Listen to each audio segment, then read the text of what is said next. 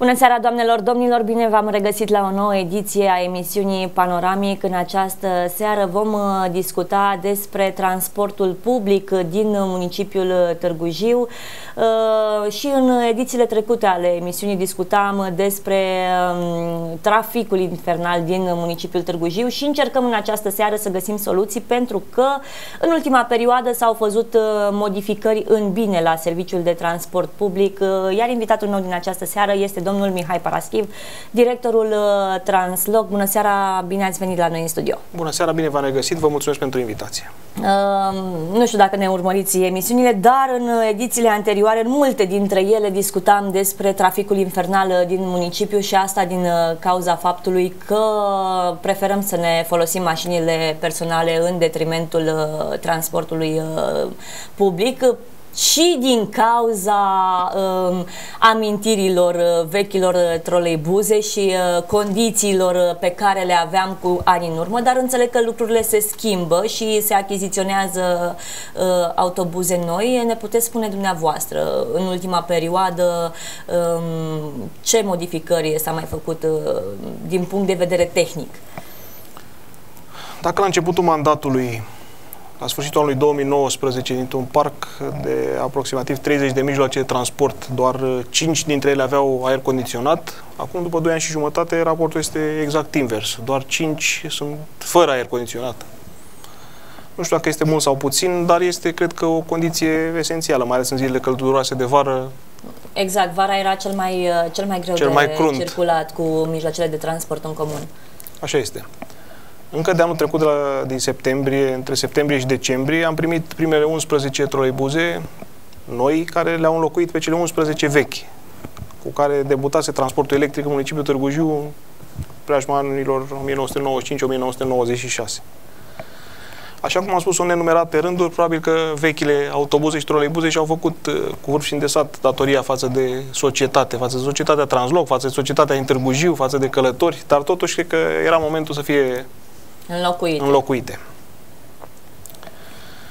Am făcut o solicitare către Consiliul Local pentru că ei sunt uh, proprietarii Transloc, se spune așa, este acționar, Consiliul Local este acționar unic al societății Transloc, în care am motivat necesarul, necesitatea achiziționării unor autobuze și am motivat uh, second hand uh, prin prisma banilor pentru perioada în care troleibuzul nu va funcționa. Va exista o perioadă de o lună, două, trei, patru, nu știu exact cât, cât mai puțin probabil, până la sfârșitul anului 2023, în care transportul electric nu va funcționa. Când se vor înlocui pe anumite tronsoane firele de contact, nu vom putea să folosim troleibuze. Și atunci trebuia să fim acoperiți, sau călătorii din Târgu Jiu trebuie să fie acoperiți cu mijloace de transport care să le asigure transportul zilnic.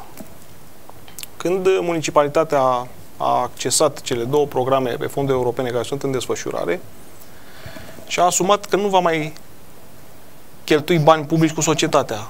Adică nu va mai putea să mai achiziționeze alte mijloace de transport. Asta a fost și motivația, motivul pentru care am solicitat să le cumpărăm noi din banii societății și am motivat second hand pentru că un autobuz nou este în jur de 300.000 de euro. Și cele 10 pe care le am noi, noi au costat sub 100.000 toate. Bun. Dar, ca și lungime de viață, vă satisfac? Adică uh, risc-beneficiu, știți că așa calculăm totul uh, atunci când este vorba de bani. Vă vor satisface? Păi, așa cum am spus, de principiu avem nevoie de ele pentru o perioadă foarte scurtă. Am înțeles. În momentul în care nu va funcționa și nu m-a interesat foarte mult cât de mult vor funcționa de acum încolo. În altă ordine de idei, până o să vină toate mijloacele de transport noi, pentru că în total, până la sfârșitul anului 2023, vom avea 35 de mijloace de transport noi. Un troleibuze și troleibuze cu autonomie extinsă. Acestea sunt, cele, sunt cu baterii și vor putea să circule și în afara rețelei de contact.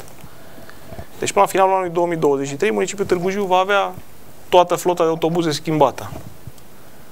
Motiv pentru care nu am fost interesat de achiziționarea unor autobuze foarte noi. Am căutat câteva condiții minimale de confort și mă refer la accesul pentru persoane cu dizabilități, la mămici cu cărucioare și aerul condiționat de care vă spuneam puțin mai devreme.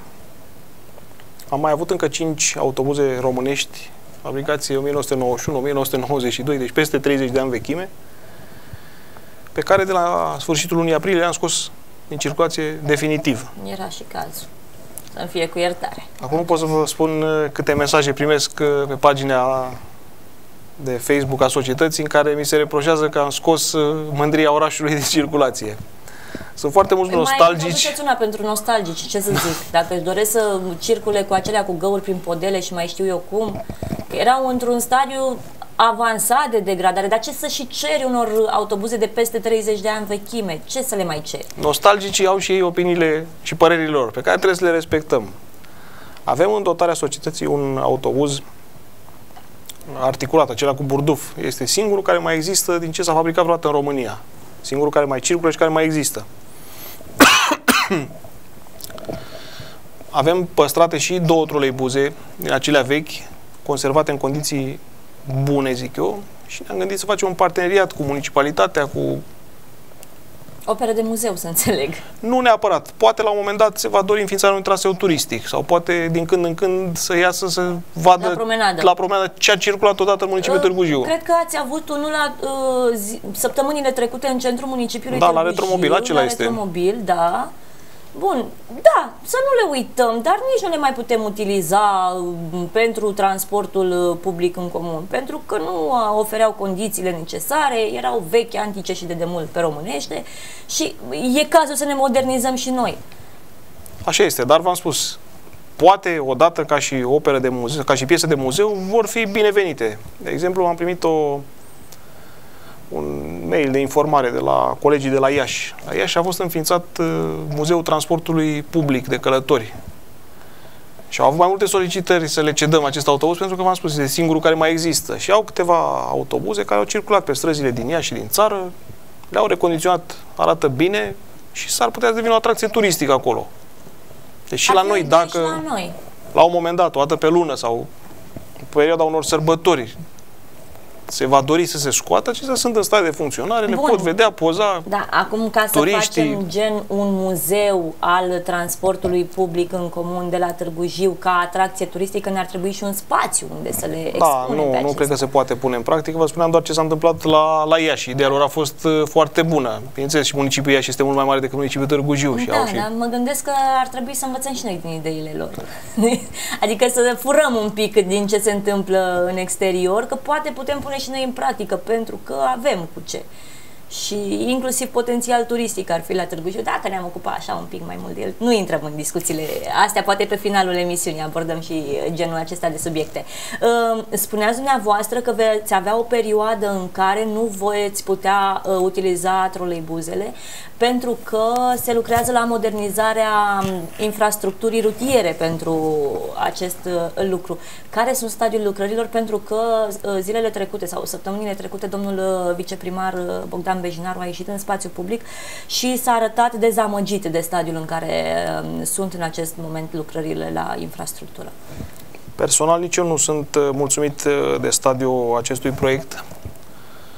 A fost un proiect destul de dificil de pus în practică, a durat foarte mult, au durat foarte mult și procedurile pentru licitație și într-un final, în urmă cu două luni de zile, a fost semnat contractul cu o firmă de la București. De fapt, a fost un lider al unei asociari, asocieri, pentru că sunt patru firme care au participat, proiectul fiind foarte mare. Foarte, foarte mare și complex. 1,3 milioane, zic bine? Adică cu totul, că înțeleg că acolo ar fi implicat inclusiv, uh, ar fi implicat inclusiv iluminatul uh, stradal. Nu, iluminatul este alt, uh, au o componentă comună pe anumite tronsoane unde se vor schimba stâlpii Mă refer în zona Bulevardului Constantin Brâncuș, Bulevardul Unirii, acolo se vor merge în comun, pentru că sunt lucrări comune, se vor schimba și corpurile de iluminat, Proiectul cred că are o valoare mai mare. În total sunt 24 de milioane de euro, inclusiv achiziția încă 15 mijloace de transport, din cele 35 de care vă spuneam mai devreme. Partea de troleibuze este asigurată, a fost semnat un contract separat. Din fericire a câștigat aceeași firmă, le-a livrat și pe primele, pentru că ar fi fost destul de dificil să avem trei loturi cu trei mărci diferite. Măcar așa toate 35 vor fi aceeași marcă și cred că este un lucru foarte, foarte bun. Și prin prisma reparației ulterioare, când va fi cazul, și prin prisma faptului că piese de schimb sunt aceleași pentru 35 de mașini să fie toate identice, este o chestiune foarte, foarte bună. Acest proiect a fost uh, finanțat din fonduri europene? Din fonduri europene, are și primăria o cotă parte cu finanțarea da, mică. micuță, 2%, 3%, nu este o valoare foarte, foarte mare. Dar ce se întâmplă în ultima vreme în piață a afectat toți Furnizorii. furnizorii. Mă refer la prețul fierului, mă refer la prețul combustibilului, mă refer la creșterea salariilor în construcții. Este o perioadă grea, eu sper să finalizeze, pentru că timpul nu este tocmai de partea noastră în acest proiect. Până la sfârșitul 2023 mai avem un an și câteva luni. Și vă dați seama, sunt 190 de stâlpi metalici care trebuie înlocuiți. Care înțeleg că nu se găsesc. Nu se găsesc la prețurile la care au fost ofertați. Aici apar niște mici probleme. A, deci, practic, aici este problema. Nu că ei nu ar exista pe piață, dar prețul lor s-a modificat S-a modificat. De când a început războiul din Ucraina, Ucraina, prețul fierului a urcat vertiginos și au fost date peste cap multe contracte aflate în desfășurare. Păi și nu puteți veni cu acte adiționale care să... Eu sper că se va găsi o soluție și compania care a câștigat acest proiect este o companie mare și nu cred că își va permite o pată neagră, o bilă neagră în portofoliu. Ei, nu știu dacă să vă bazați neapărat pe acest aspect, dar uh, problema ar fi ce se întâmplă dacă până la finalul lui 2023, atunci când dumneavoastră aveți data scadentă, nu se va finaliza acest proiect. Da, va fi o problemă. Adică va fi o problemă pentru că, că așa... cei de la Comisia Europeană și ce fac? Ne ia banii înapoi? Nu cred că ne ia banii înapoi, dar cred că municipalitatea va trebui să închite diferența din proiect nerealizată. Sunt niște aspecte pe care nu le stăpânesc foarte bine legate de proiectele europene, dar știu că toată lumea își dorește să finalizeze implementarea proiectului pentru că se poate lăsa cu sancțiuni. grave. Uh, nu știu ce ar însemna pentru uh, municipalitatea uh, achitarea diferenței de proiect, dar mă gândesc că este o sumă semnificativă și nu știu dacă ne-am permite-o, ținând cont că avem atâtea lucrări începute și să sperăm că vom, le vom vedea și finalizate până la finalul acestui mandat, nu acestui an, dar noi încă suntem răbdători. Ca și cetățean al municipiului Târgu Jiu, um, ce mă deranjează la transportul public uh, în comun este uh, întârzierea foarte mare pentru că nu avem uh, o infrastructură așa cum ne-am dori. Să știu că există niște timpi de la stația X până la stația Y. Nu, din cauza traficului rutier, de multe ori troleibuzele rămân blocate în trafic sau circulă foarte greu, pentru că uh, banda 1 este ocupată de mașini care staționează și înțeleg că uh, s-ar dori uh, rezolvarea acestei probleme, dar nu înțeleg când sau ce măsuri se ia în acest fel. Toată lumea își dorește un transport uh, public de călători care să ne satisfacă necesitățile din toate punctele de vedere. Și partea cu întârzierile, evident că ne, ne deranjează. În paralel cu acest proiect, uh, mai este încă un proiect în desfășurare, ce legat de infotrafic, în care banda 1 va fi liberă și va fi destinată mijloacelor de transport în comun. Toate mijloacele de transport vor fi dotate cu niște echipamente GPS, mă gândesc. Care să... GPS care vor comunica cu acest centru infotrafic. Care urmează să fie construit, mă gândesc. Care urmează să fie construite tot până la finalul 2023 și va comunica cu situația din teren, în, în realitate, cu semafoarele, vor primi undă verde pentru mijloace de transport în comun în situația în care se detectează întârzieri. Toate stațiile vor fi dotate cu panouri de informare legate de timpul care mai deci aveți urmează să aveți de așteptat până la venirea următorului mijloc de transport. Uh, deci sunt proiecte frumoase.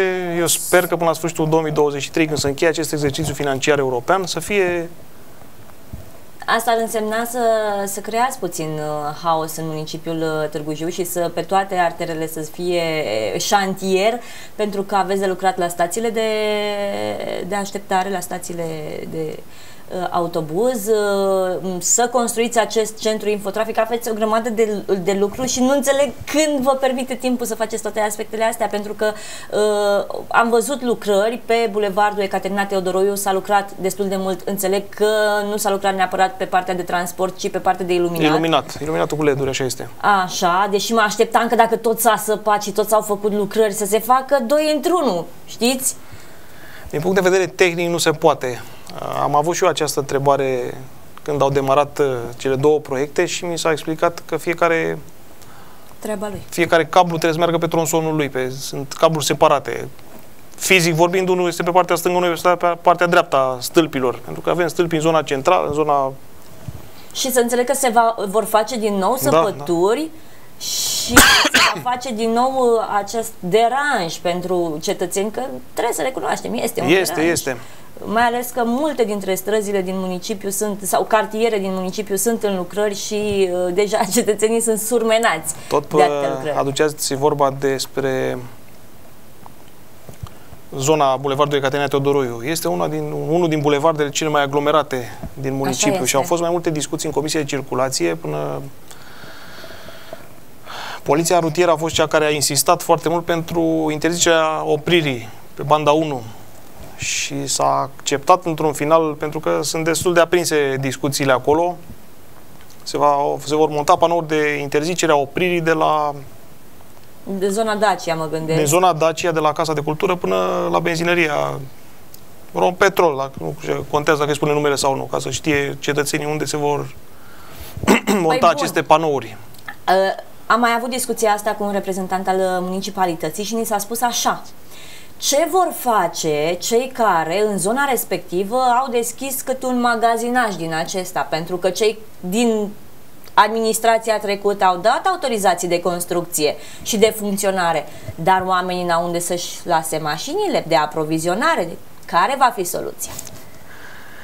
V-aș da un răspuns în stilul meu caracteristic. Dați-mi în ce stil doriți dumneavoastră, nu mai Cred dați-mi că, un răspuns. cred că nu ar trebui să mă intereseze ce se întâmplă cu acești cetățeni care și-au făcut în partea din față câte un chioșc și vor să trăiască închirii fără să asigure locuri de parcare. Păi da, da. au Și primit autorizații. 99% din cetățenii municipiului Târgu Jiu care folosesc bulevardul respectiv și stau în trafic ore întregi, ce fac? Eu sunt de acord cu dumneavoastră. Asta a fost și problema mea. Bun, sunt de acord. Oamenii și-au deschis acolo ceva, dar nu Uitați-vă e în problema zona, mea, că n-are în unde zona să- Victoriei, că a fost această discuție în urmă cu 3, 4, 5 ani de zile. Și au fost A fost firme- și atunci scandal, aduceți-vă aminte și că sunt a fost. câteva firme care și-au creat locuri de parcare în curte. Au renunțat la o parte din Curte. teren și au creat locuri de parcare pentru clienți, pentru... Deci s-ar găsi soluții. Deci sunt soluții dacă se vrea, dar dacă suntem învățați doar să primim totul de gata de la municipalitate, să vină să ne cosească, să ne facă locuri de parcare, să, să, dar noi să nu facem nimic, păi nu prea cred că este ok. Da. Mă, mai spuneați dumneavoastră și sunt în sentimentul uh, vorbelor spuse de dumneavoastră că ar trebui să creați și trasee noi. Spre exemplu, s-a creat un uh, cartier uh, în uh, zona Narciselor, acolo unde s-au construit uh, noile aneleuri, da? Și foarte multe familii cu copii uh, locuiesc în uh, zona respectivă. Acum, nu știu care e, dacă aveți traseu uh, pe acolo sau dacă beneficiază tot de uh, uh, troleibuzele care fac uh, Artego 9 mai. Avem trasee pe acolo, din păcate nu sunt uh, mulțumit de traseul pe care urmează aceste mijloace de transport. Din zona respectivă merg numai către Artego. Și există, de exemplu, elevi care poate învață la liceu sportiv și stau 50 de minute în trafic ca să meargă prin zona de nord a municipiului ca să ajungă în zona de sud. Am făcut, am creionat două, trei trasee noi pe care le vom trimite cât de curând Consiliul Local spre aprobare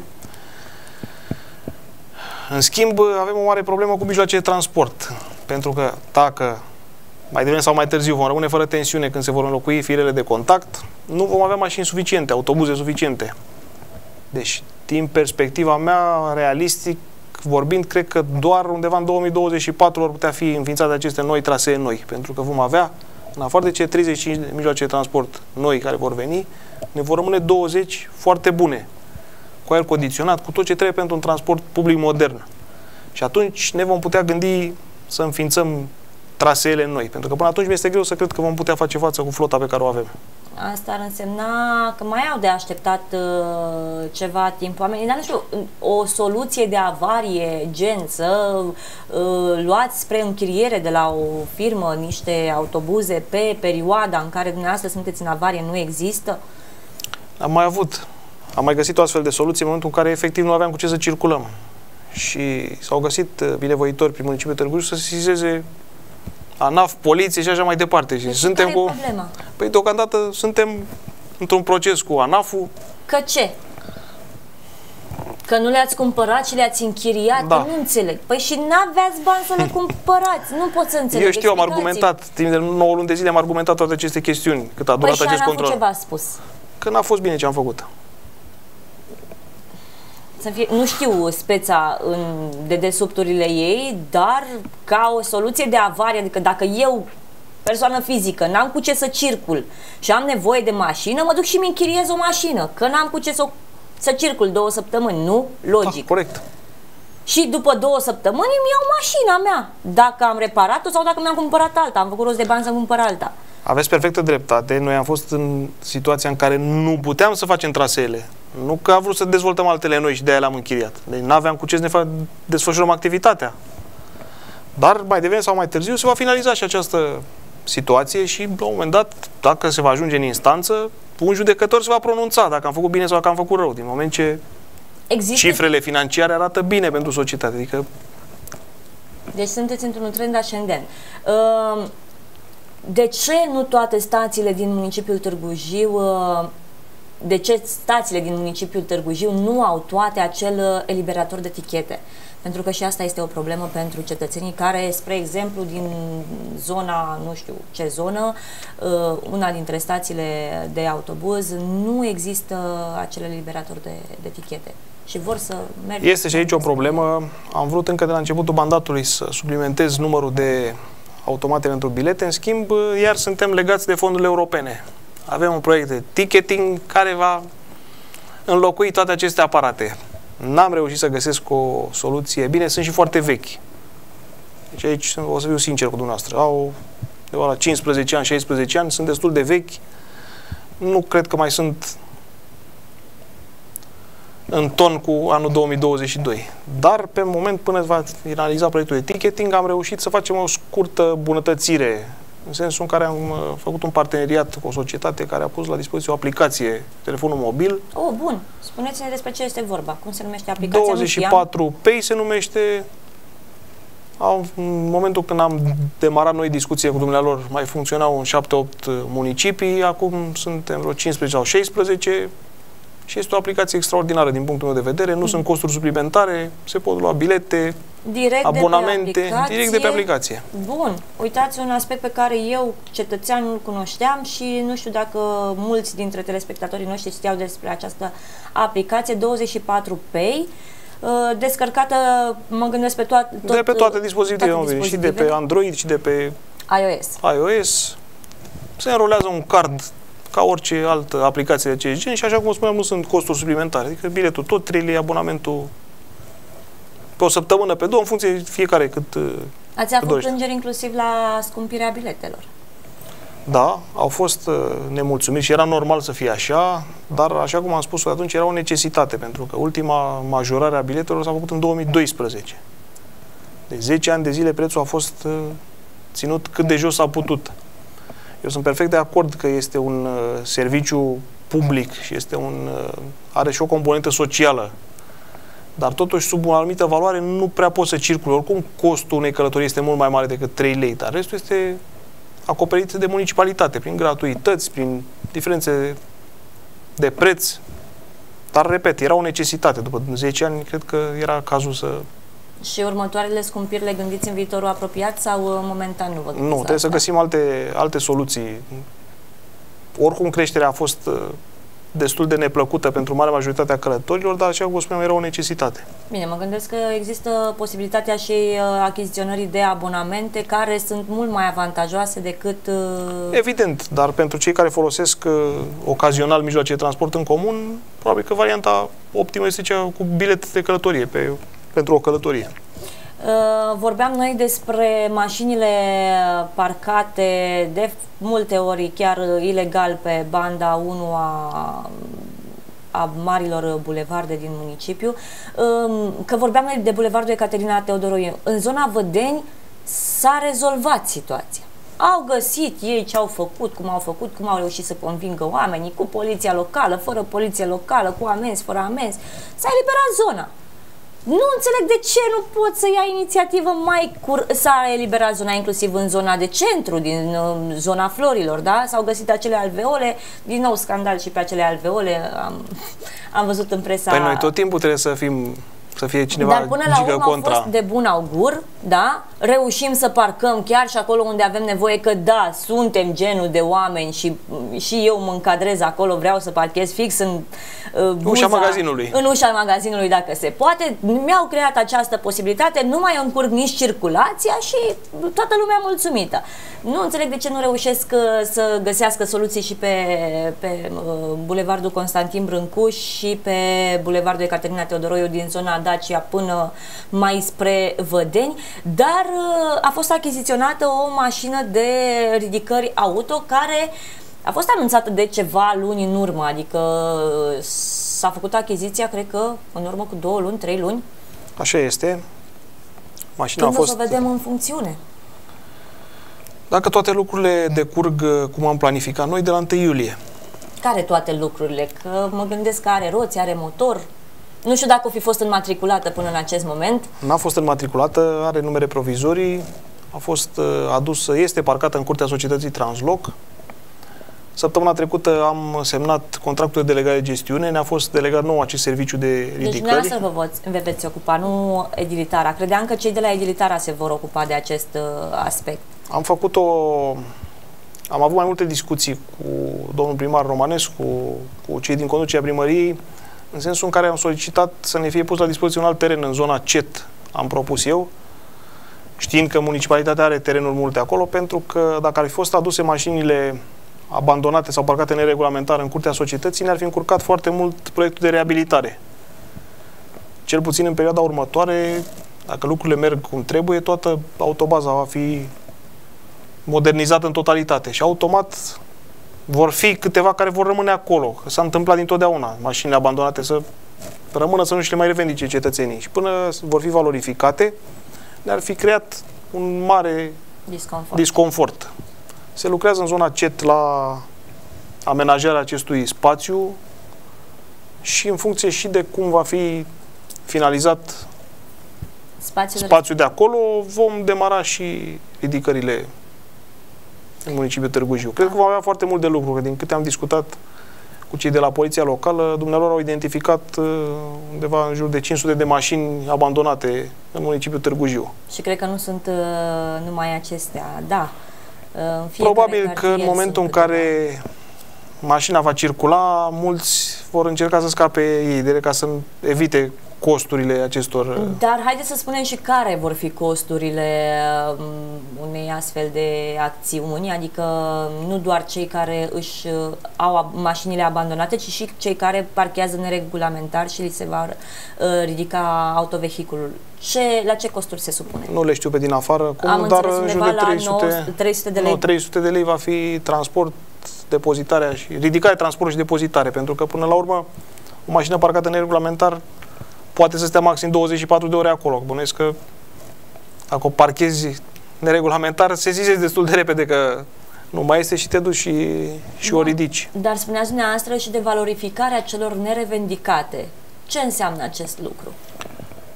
Aici este o mică problemă pe care n-am lămurit-o încă. Cine se va ocupa de partea de valorificare? Pentru că, păi, de nu principiu... dumneavoastră, dacă este în Trebuie o să găsim... dumneavoastră pe românește?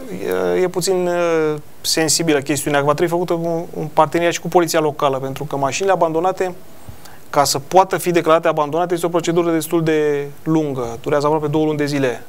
Dumnealor au demarat deja toate aceste proceduri și în momentul în care mașina va fi funcțională, vom putea direct să mergem să le, să le ridicăm. Dar după aceea este un termen legal cred că 30 de zile în care, dacă cineva nu vine să-și mai revendice bunul, se consideră abandonat și poate fi valorificat.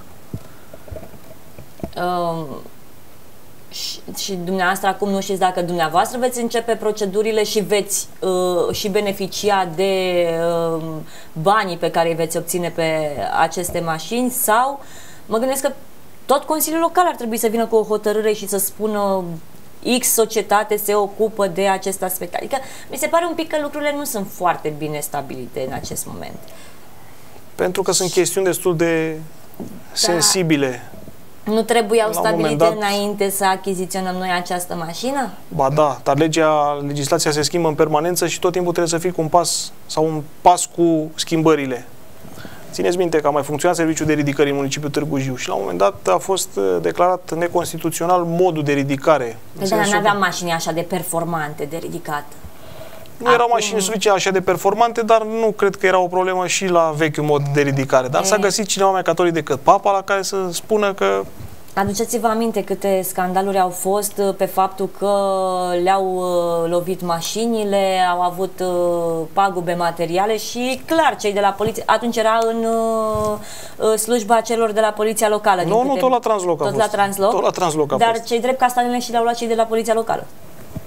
Nu știu de ce, cum, Uh, pentru că eu așa mi-amintesc că uh, scandalurile erau legate de polițiștii locali, că nu au fost atenți atunci când au ridicat mașina, că au lovit-o, că a trebuit să... și uh, procese peste procese, ulterior a fost dată neconstituțională această acțiune. Acum înțeleg că nu mai există nicio modalitate de a contesta astfel de chestiuni, pentru că mașina doar ridică autovehiculul și îl pune pe platformă unde va fi transportat la în zona CET. Dar e bătut în coi, pentru că știu că zona da, CET da, da. trebuia să fie o zonă industrială. Așa este tot o zonă, tot o zonă industrială, că doar nu ne ducem la, la muzeu să, să le expunem acolo. Este o zonă de servicii. Nu cred că Mă așteptăm ca acolo domnul primar să atragă investitori. Păi terenurile sunt deja pregătite, s-a făcut puz pentru așa ceva, dar a fost o bucată de teren, o zonă care nu era reglementată. Este relativ aproape de turnul de la CET, s-a asfaltat, se lucrează la împrejmuire. Bun. Acum haideți să trecem, pentru că sunteți și vicepreședinte al uh, Partidului Național uh, Liberal uh, din Târgu Jiu, pentru că mai avem câteva minute un sfert de oră până la finalul uh, acestei emisiuni. Haideți să vorbim și despre ce se mai întâmplă în municipiul Târgu Jiu, așa din punct de vedere politic și administrativ, pentru că se cam leagă una de alta, că vreți, că nu vreți, sunteți implicat, direct, indirect. Haideți să uh, vedem uh, ce se mai întâmplă cu proiectele din municipiul nostru. Mă refer aici la proiecte inițiate de municipalitate și care dau bătăi de cap cetățenilor. La unul dintre ele la care fac referire este proiectul din uh, cartierul Plopilor. Înțeleg că acolo este un proiect de anvergură și poate dumneavoastră aveți cunoștințe de la colegii de, uh, de partid uh, când se vor finaliza lucrările. De ce se întârzi atât de mult cu lucrările? Nu pot să vă spun dacă sunt întârziate sau nu sunt întârziate. Totuși au fost lucrări complexe acolo, așa cum spuneați, de anvergură. S-au înlocuit țevile de canalizare, aducțiuni de apă, totuși s-au făcut niște lucrări care nu le poți face peste noapte bătând din palme. Evident, disconfortul nu ai cum să-l compensezi decât uh, prin scurtarea termenelor cumva, ca să fie cât mai ca să fie cât mai scurt acest, uh, acest disconfort. Fiind și un cartier mare, Bănuiesc că nu este foarte simplu de realizat ceea ce s-a realizat acolo. Recunosc că n-am mai fost uh, de ceva vreme, dar în fiecare ședință operativă se comunică stadiul lucrărilor și, de câte știu, sunt în grafic aceste lucrări. Știu că s-au reconfigurat parcări, se va asfalta în totalitate tot cartierul, așa cum spuneam, rețele de utilități înlocuite, o lucrare de avergură, ce să mai e. O, Doamne, că mi-ați aruncat așa la fileu cu parcările din municipiul Târgu Jiu. Uh, hotărârea Consiliului uh, Local, cred că de anul trecut, spre finalul anului trecut, cea cu uh, reorganizarea parcărilor, cele 24 din 24 sau cele până la ora, de la ora 16 până la a doua zi dimineața la ora 8, efectiv au creat haos în municipiul Târgu Jiu. Efectiv s-a creat haos atât în rândul cetățenilor cât și uh, la uh, instituția statului care se ocupă de aceste contracte. Uh, oamenii deja sunt uh, ce văd și eu în jurul meu, pentru că vrând nevrând te întâlnești cu oameni și uh, nu zic că a fost o inițiativă greșită a Consiliului Local de mult trebuia să ia o astfel de decizie pentru că putem beneficia de niște parcări chiar și în centrul municipiului sau în alte zone ale orașului unde oamenii sunt plecați la serviciu, dar ele erau plătite uh, 24 din 24, iar acum până la ora 16 putem să ne folosim de ele benevol. Uh, cred că a lipsit un pic comunicarea. Oamenii nu înțeleg că dacă nu vor pleca de acasă pot să-și parcheze liniștiți autovehiculul pe locul de parcare plătit de la ora 16 până a doua zi dimineața la ora 8. Iar asta i-a nemulțumit într-un fel pe Târgu Jieni. Unde s-a produs ruptura? Ce nu s-a explicat corect? Nu știu dacă a fost o chestiune universal valabilă. Evident, când se schimbă un sistem, fie că vorbim de modul de parcare în discuția de acum, evident că până se învață lumea există și persoane care nu înțeleg ce trebuie și persoane care sunt nemulțumite, pentru că oricum niciodată nu vei putea să-i satisfaci pe toți. A fost foarte greu să se facă o inventariere a tuturor locurilor de parcare și a contractelor de închiriere pentru fiecare loc de parcare în parte. Pot să vă spun că a fost o muncă titanică, pentru că, așa cum vă spuneam și de cartierul Plopilor și de această problemă se discută la fiecare ședință operativă de la primărie despre stadiul implementării locurilor, locurilor proiectului respectiv. Din punctul meu de vedere, este un proiect bun, care, așa cum spuneați, oferă posibilitatea Decongestionării descongestionării traficului, traficului și parcării la un moment dat pe niște locuri pe care trebuie să știi dacă sunt 24 din 24 sau nu. Au existat multe discuții vis-a-vis -vis de prețul contractului respectiv, că este mult sau puțin. Acum ce să vă spun? Înainte era 120 de lei pe an. Din punctul meu de vedere, un preț foarte, foarte mic, pentru că, până la urmă, 10 lei pe lună pentru un loc de parcare care să-l folosești 24 din 24, cred că este foarte, foarte, foarte puțin. De aici au apărut multe discuții. Cred că datoria municipalității este aceea de a asigura măcar un loc de parcare pentru fiecare unitate locativă. Asta ar fi logica. Au existat și situații în care s-au găsit câte 3, 4, 5 locuri de parcare pe un singur apartament. Da, sunt de acord cu dumneavoastră. Dar vă spun și reversul medaliei. Existau locuri libere de parcare, neachiziționate de nimeni, și e clar că eu care am două sau trei autovehicule vin la municipalitate și vă spun, vi le plătesc eu, că am nevoie de ele, da?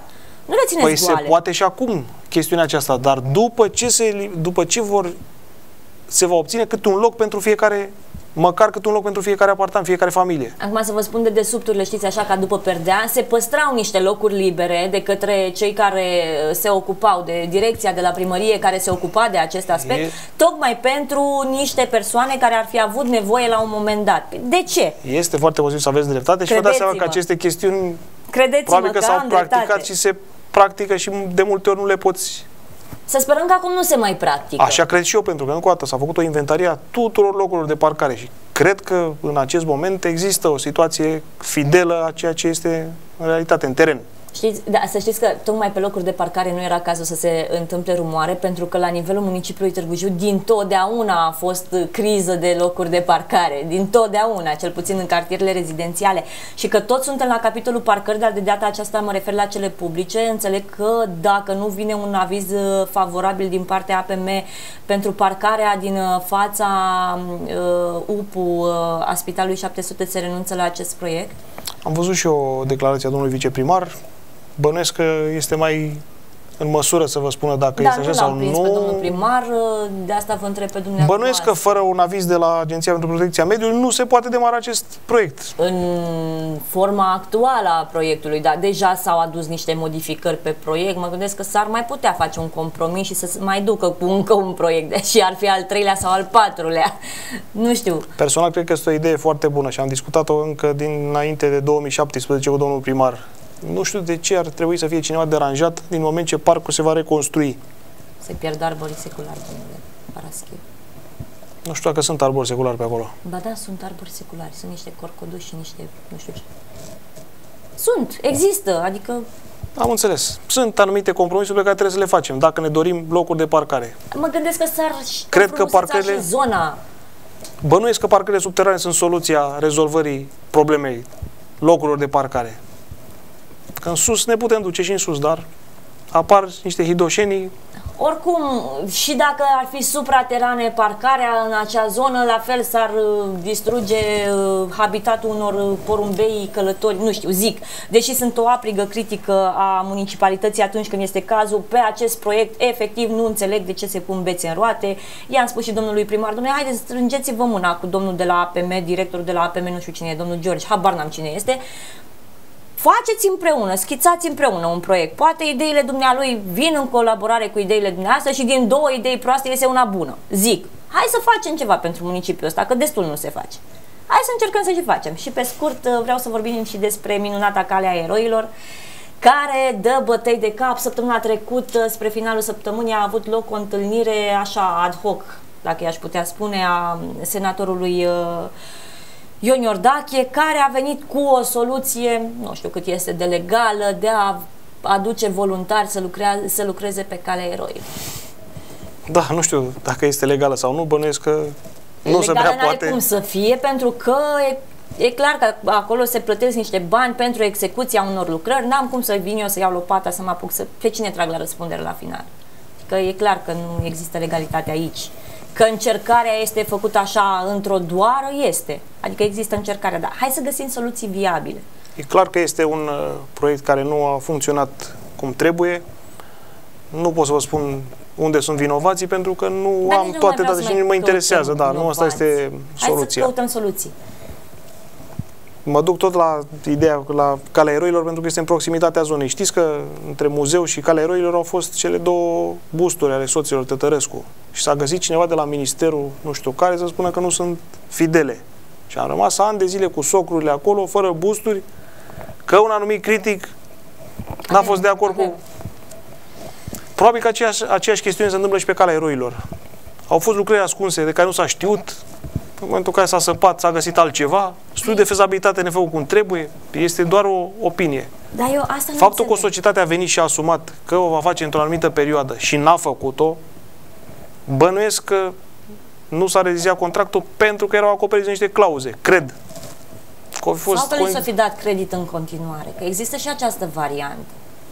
Mă gândesc că ar fi ieșit cineva din conducere, cei care se ocupă de acest proiect, să spunem, noi n-am putut să reziliem contractul, că sunt acoperiți de niște clauze și ar fi însemnat să pierdem foarte mulți bani. Păi, din câte știu, asta a fost uh, poziția domnului primar și cred că așa a susținut Cred că mai mulți s-au uh, îndreptat spre latura de timp Uh, dacă reziliem contractul, se reia licitația, durea, uh, se fac contestații și uite așa ne tărăgănăm și clar o să întârziem proiectul mult mai mult Și ăsta poate fi un aspect Da, da, acum s-a schimbat legea, știți? Acum facem licitația, depun uh, contestații doar cei care știu, sunt convinși că au motive să depună contestații dacă nu trebuie să plătească o sumă și nu știu dacă le mai convine să depună așa la liber contestații, că până acum da, se depuneau așa, hai să mai tragem un pic de timp să le mai punem astora bețe în roate, dar acum s-a schimbat legislația, adică mă gândesc că beneficiați de această modificare. Da, așa ar trebui.